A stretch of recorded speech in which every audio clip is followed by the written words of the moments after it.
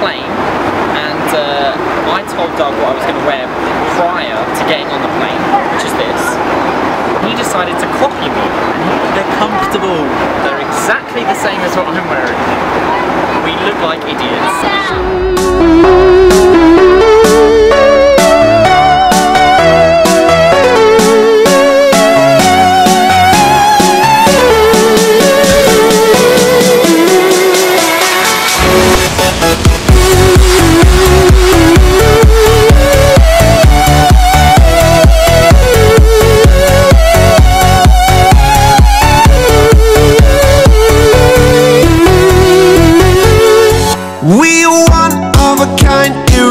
How did I get so blind and so cynical?